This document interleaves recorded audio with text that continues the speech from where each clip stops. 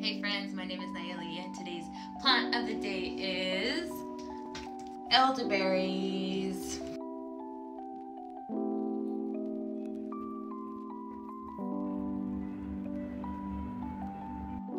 I thought it would be very fitting to talk about elderberries since everyone and their mom is getting sick right now.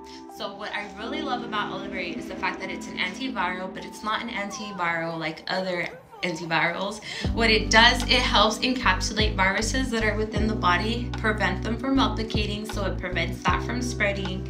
So it kind of like hugs it and it's like you're not going to multiply anymore. You're not going to keep getting this person sick.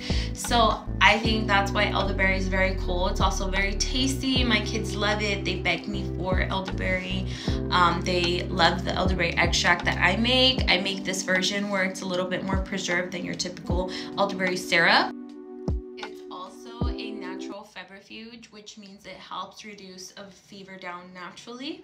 Um, there's only certain instances where I like to reduce fevers, um, but this will still like kill the virus it's trying to kill, right?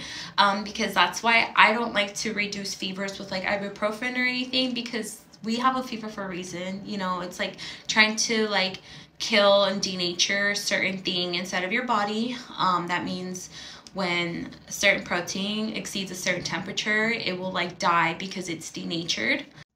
So you know that elderberry is in my home medical kit for when me and my or my kids are experiencing sick-like symptoms and I want to get to like the root cause instead of just like treating symptoms. So elderberries